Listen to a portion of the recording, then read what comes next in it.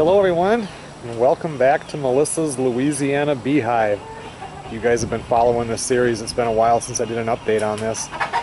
You can see that she added a second hive here, but it was a couple weeks ago that uh, we were out here and actually the bees were doing something that she had never seen them do before.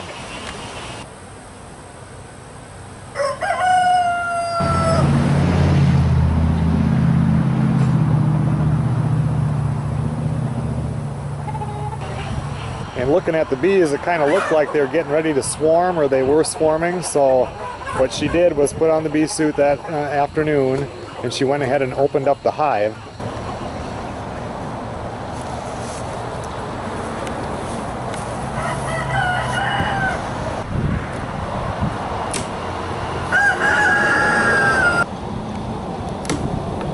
I need the other box too. Okay. Are you going to open all that up or just put the other box on Yeah, there? I'm gonna open it all up. Okay.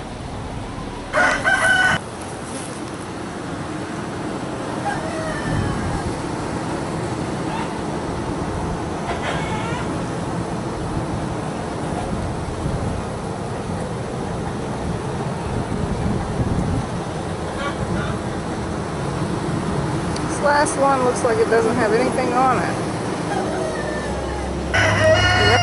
This time those bees are not very happy. Just watch one of the cats get stung twice.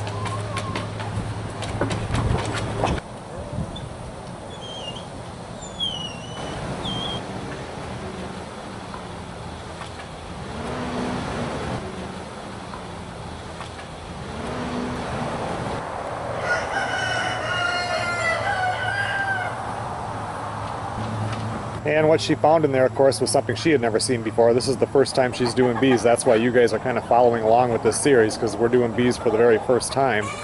And uh, there was four queen cells that were in this second hive over here on the right.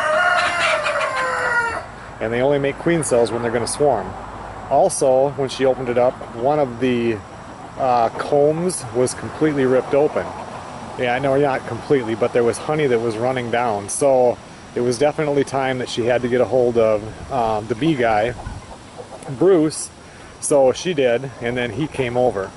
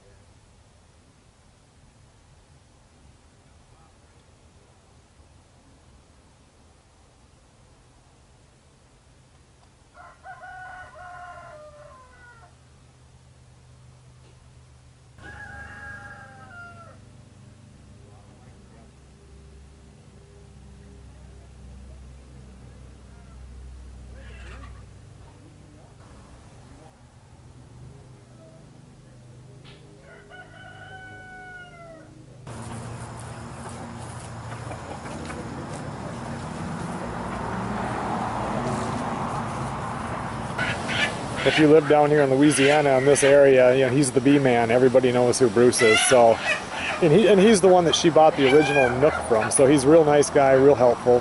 He come over and took a look at it, and what he thinks happened that first time was that they did like a pre-swarm, and uh, but they didn't take off. But when he opened up that hive, the queen had definitely was gone, so she had swarmed, and uh, some of them went with her. And the reason why they open up the comb is because they gorge themselves on the honey, because they, when they're going to find a new home, they don't know when the next time is they're really going to eat.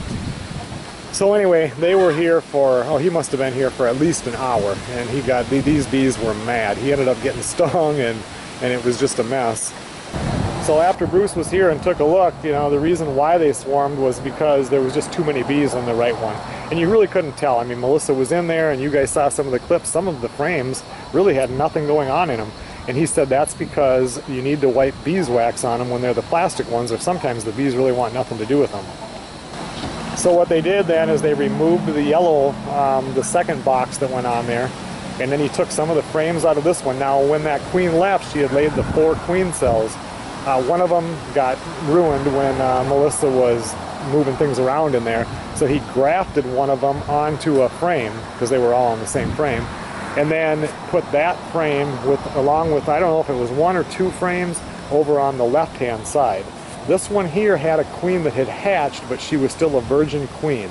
So she's in this one along with uh, I think two other queen cells that had not hatched. So if she does go up gets bred, becomes a real queen, comes back down, she will then go ahead and kill the other two queen cells, and then she will like, you know, rule the hive. So where we're at right now is she's not supposed to open up either of these hives for one month, which is eh, approximately three more weeks. And then she can go ahead and open it up, and then as soon as this one starts to get filled up a little bit, then she'll put the second box on top of this, and then from there she's gonna then when that gets full she'll put the the littler box on top so that she can get the honey out of it.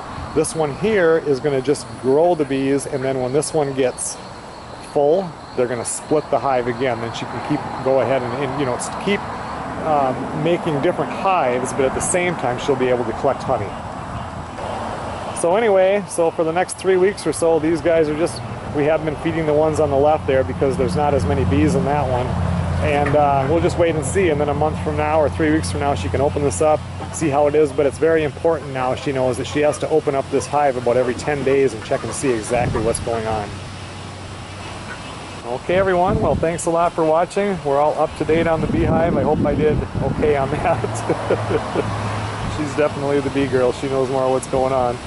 Anyway like i said thanks a lot for watching and we'll see you guys on the next video